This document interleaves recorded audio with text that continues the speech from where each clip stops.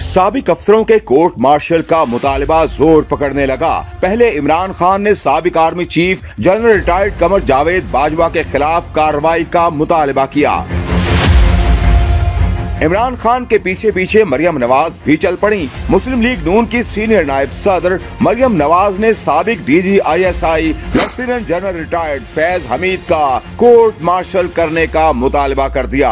उनका court martial होना चाहिए उनको बल्कि उनको निशानी इबरत बनाना चाहिए। वेब चैनल को इंटरव्यू में मरियम नवाज़ ने कहा कि फैज हमीद ने दो साल मुस्लिम लीग नून की हुकूमत गिराने और चार साल इमरान खान की हुकूमत की हिमायत के ज़रिए मुल्क तबाह करने में किरदार अदा किया।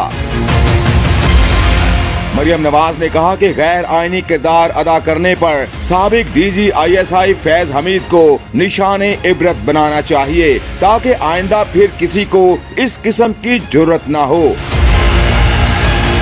मरियम नवाज़ ने कहा, हाइब्रिड निज़ाम लाने वालों को सबसे बड़ी सजा वोट को इज़्ज़त दो की शक्ल में अवामी आगाही मुहिम से मिली। मरियम नवाज़ ने सबक चीफ जस्टिस साकिब निसार को भी कौम का सबसे बड़ा मुजरिम करार दिया।